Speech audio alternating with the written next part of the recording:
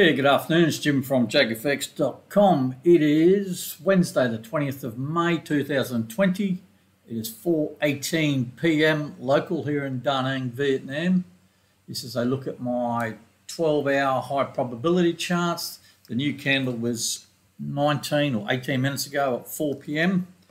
Now, I'll just go over a few things. This will include things that I did this morning that didn't re really require a video, so We'll have a look at the chart. So let's go to my, here's my watch list here. This is TradingView on the right all the pairs I'm trading.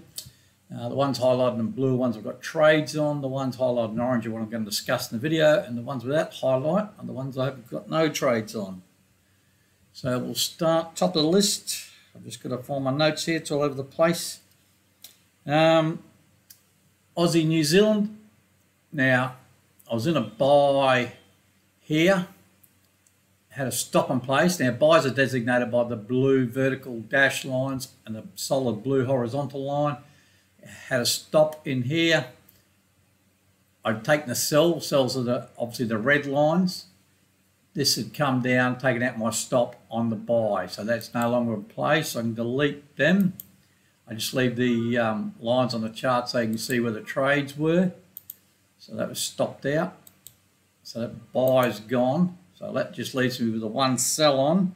Uh, that gave me a profit of $6.98 and that's been added to the profit to date here. So I've just got the one sell trade on and you can pause the video, slow the video down, read my notes with regards to what I got left on there.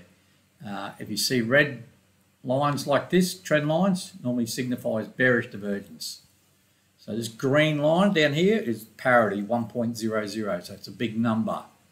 So just in the one sell, all these trades are recorded on a shared spreadsheet. There's, it's a, um, the link to that spreadsheet is in the description of this video. Everyone's more than welcome to check that out. Like everyone's more than welcome to join my Facebook group, etc. Uh, that's where I call all the daily trades, etc. So that's um, so this is my setup. Just got the three MAs, the 50 EMA, 100 EMA, and 240 LMA. They just give me an idea which way trend's going, nothing else. This QMP filters these red and green dots on the price chart. All they are is a combination of the dots on the MACD Platinum, which is just a zero lag MACD, and another indicator which is not displayed called the QQE Advanced. So when the QQE advanced and the MACD Platinum's in sync, it creates these dots on the price chart. Now the MACD Platinum, as I said, is just a zero lag MACD. When it's above the zero level, I'm looking to sell. When it's below the zero level, I'm looking to buy. That's a zero level here, this grey dotted line. All right, moving right along. Pound yen.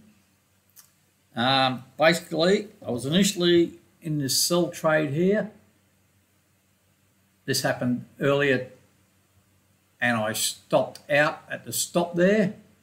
And then I was in a, also in a buy, a hedge sell, a second buy. This is my overall break-even level. And because that last candle, the MACD platinum through the zero level, it's a high risk into a downward trend.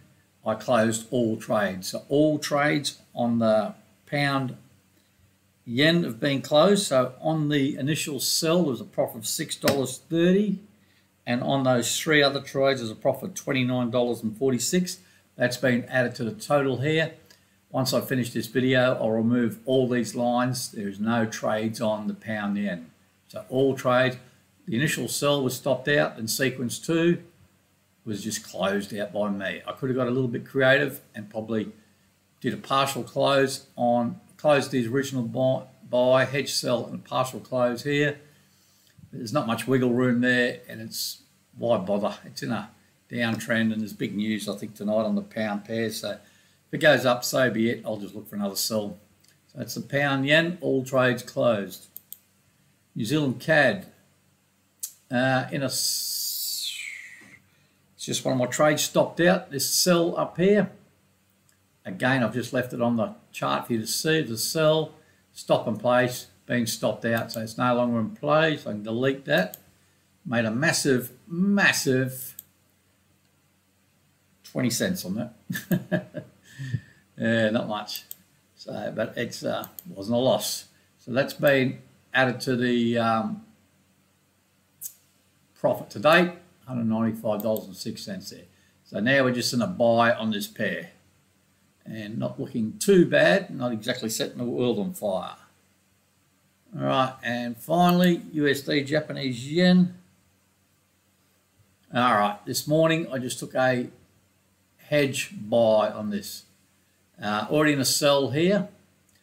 Not a great signal, but there was hidden bearish divergence.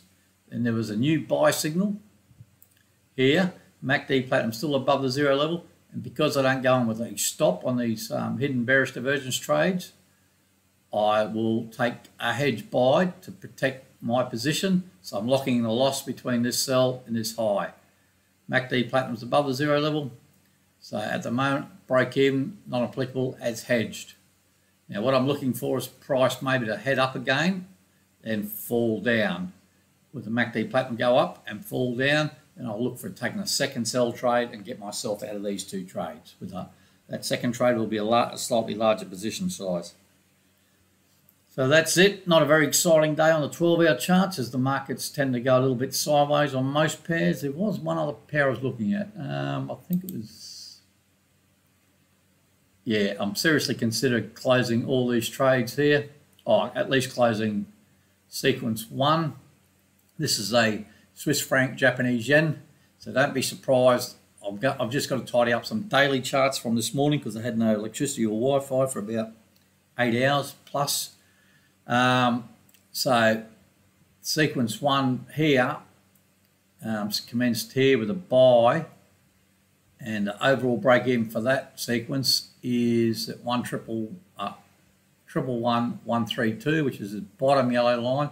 We're through that now, well and truly, and the MACD platinum's well above the zero level. So the smart thing to do would be to close out uh, all of that sequence, or at least have a look at maybe on the last trade, uh, the fourth buy, I may be able to get away with leaving a partial trade on and then putting a stop in place for this. Um, I'll have a look at that after the video. Don't be surprised if you see this as closed in tomorrow's video sometime. Just give you a bit of a heads up. That's a Swiss franc Japanese yen. It's going up nicely.